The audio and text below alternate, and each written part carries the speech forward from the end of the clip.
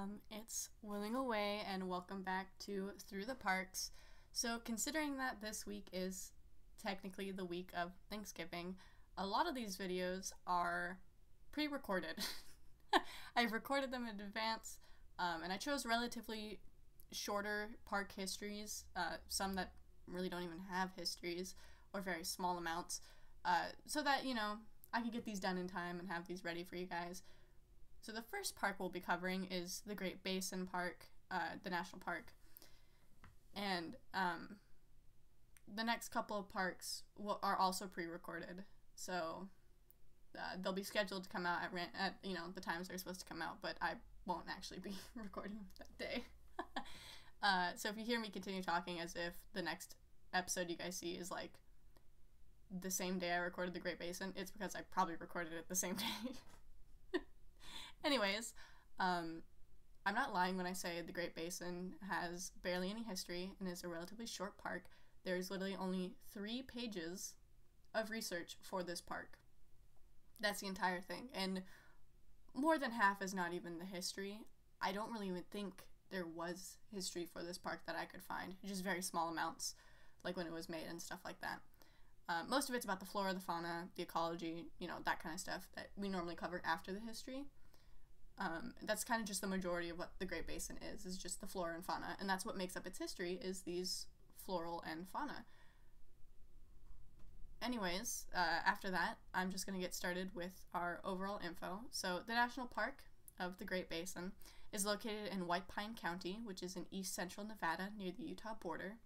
The park was established in 1986, and the most common way to enter the park is through Nevada State Route 488, which is connected to US Route 6 and 50 by Nevada State Route 487. And I can't remember which one. It was either Route 6 or Route 50, but one of them is actually named like the loneliest like route in the United States, and I'm guessing that's just because nobody drives on it. but it was weird because I was like, Route 50, where's that? And it, I was just greeted with loneliest highway. I'm like, okay, alrighty. Um, but US Route 6 and 50, which are by Nevada State Route 487. The closest settlement to this park is a small town called Baker, which is in White Pine County. The park is very secluded. It's literally the small this small town is like the closest you can get to human civilization near the park or in the park. Uh, the park name uh, comes from the dry mountain, uh, the dry and mountainous region between uh, Sierra Nevada and the Wasatch Wasatch Mountains, which is called the Great Basin. So this area in between these mountains and regions is called the Great Basin. Uh, but topographically, however, this place is called uh, the Basin and Range Providence.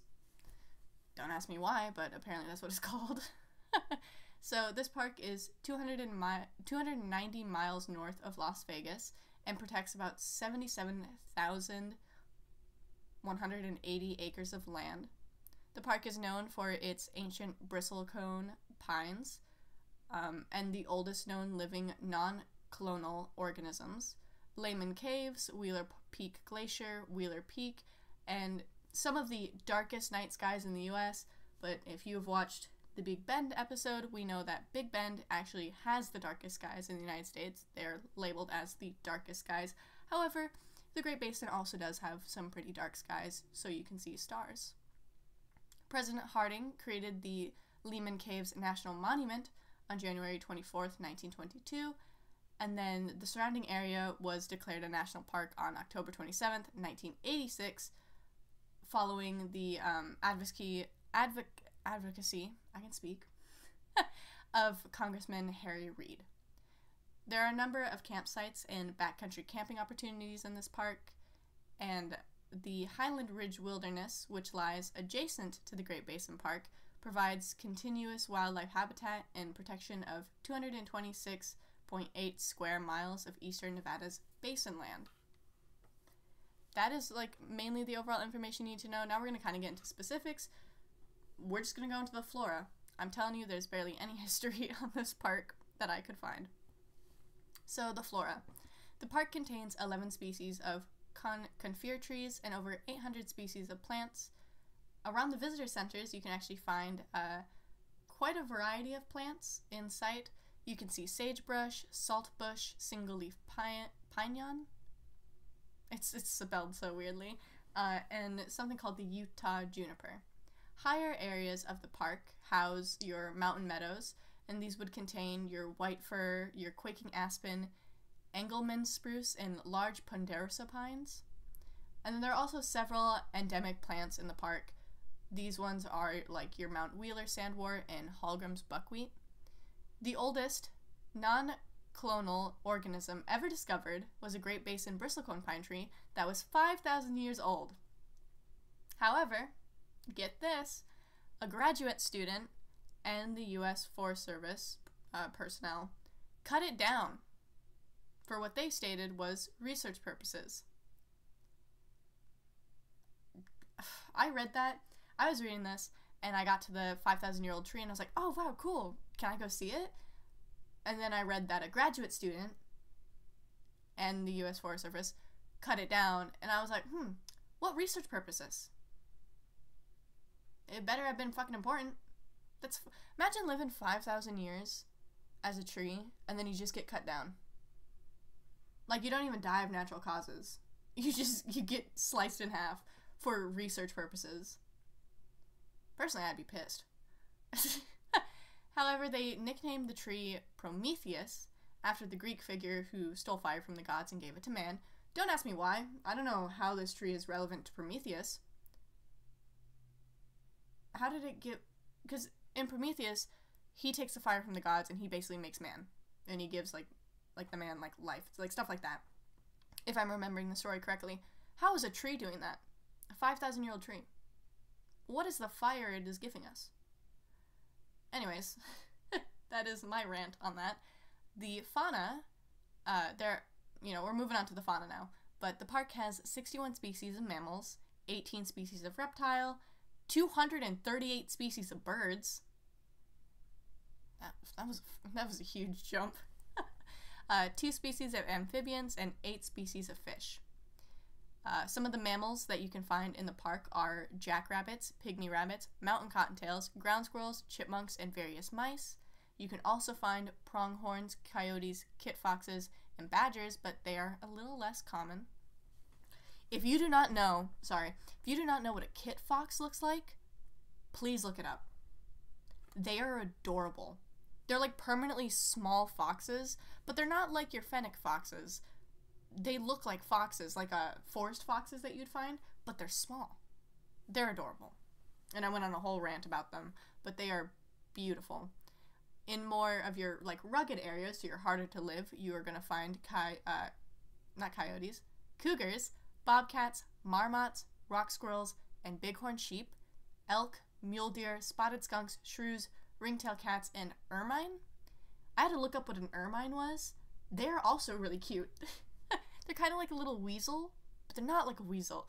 Look them up. They're adorable. They're like so fluffy and furry. I just want to squeeze one. Now we move on to the fish in the area. There is only literally one native fish to the park, and that is the Bonneville cutthroat trout.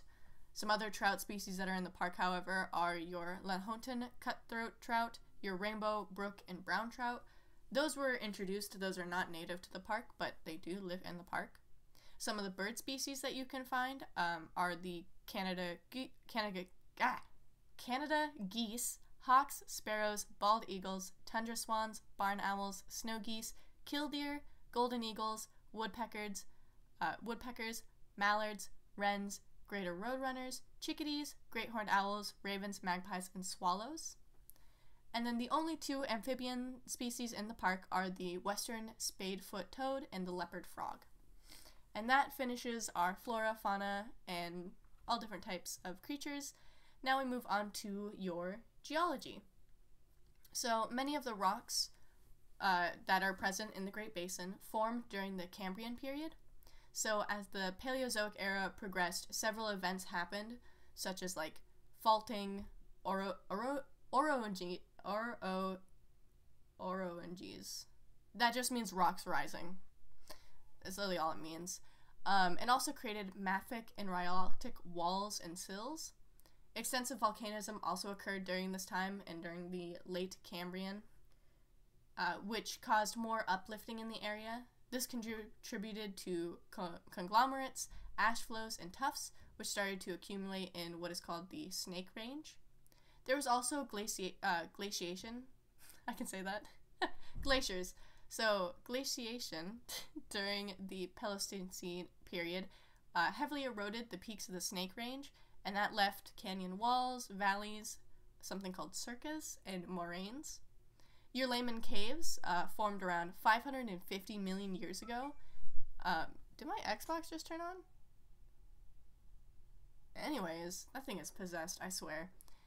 Um, these caves uh, formed around 550 million years ago while submerged in a warm and shallow ocean. The caves contain marble and limestone, which form many of the cave's uh, decorations. The cave system during the Paleocenic period became much deeper, and eventually, when the water level dropped, it would leave glare rooms and cavities in the rock, which would then create what we know as today the Lehman Cave system.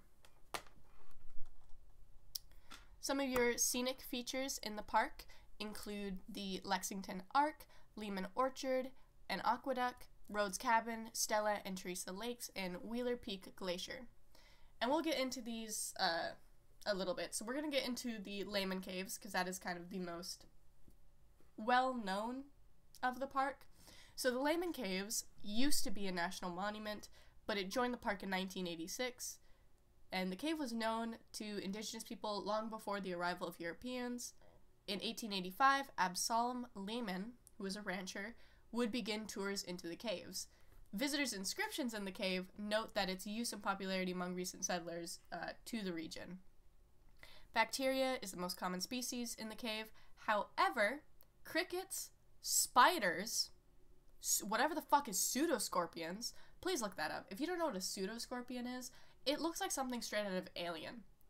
It has like the small claws of a scorpion, but it looks like it looks like a squishy toy that you would get. Like you could just squish it. It's weird. And if that fell on me, I would scream uh, and then immediately just kill it. also, don't get me fucking started on cave spiders. We're just not gonna talk about that. Anyways, your crickets, your spiders, your pseudoscorpions, your mites, and springtails can live their full lives in the cave. They, uh, those critters depend on organic material, which are packed in by other animals, or what happens to wash in from the surface. Other creatures do use the cave, but they tend to leave to find food. These creatures would include your chipmunks, your mice, your pack rats, and your bats. There are 10 species of bats that have been found in the Great Basin Park. One of these includes uh, the Townsend's big eared bat. Now we get into kind of something that, you know, like makes up most parks, which are the trails. So this park has 12 trails, some that range from 0.3 miles to 13.1 miles. Uh, you can hike what is called the Mountain View Natural Trail. This is the shorter nature trail, um, and it start or it goes up to like 6,825 feet. However, the Wheeler Summit Trail goes up to 10,160 feet in elevation. The Wheeler Summit Trail is meant for more experienced hikers due to it being quite strenuous and the altitude uh, presents very significant hazards, so for any unprepared or inexperienced hikers, it can be very dangerous. There are back uh, country routes that are maintained throughout the remote southern portion of the park, and a number of the trails can be accessed by the road that terminates the primitive Shoshone campground. The Visitor Center, if you ever want to stop by, is located on Nevada State Route 487 in Baker. Lehman's Visitor Center, which is another visitor center for the caves, is located on Nevada State Route 488, which is 5.5 miles from Baker. And there's something called, uh, this interested me, there's something called the Forgotten Winchester, and it was a rifle that was made in 1888 that was found leaning up against a juniper tree in 2014, uh, and it is now on display in the Great Basins Visitor Center. Both of these visitor centers feature exhibits about the park and its geology, uh, its natural and cultural history, as well as theaters with orientation films. So, the climate of the Great Basin is a warm, summer, humid continental climate. The park uh, receives very little rain, and most of the precipitation that happens is from winter snow or summer thunderstorms. all of this water is endor endorheic, which just means that none of the water ever reaches the ocean. Winters in the park are cool, and then obviously, while summers are more mild and hot. The weather can quickly change in the backcountry and on Wheeler's Peak, however, so you never really know what's going to happen. Uh, you can kind of have a good idea, but weather can change. The Lehman Caves tend to stay at a general 50 degrees Fahrenheit with a 90% humidity, and higher elevations are cooler and receive more precipitation, while lower elevations are hotter and drier. And that's it. Considering I didn't have too much time to research this, this is kind of all I found, like right at the front where you can kind of look.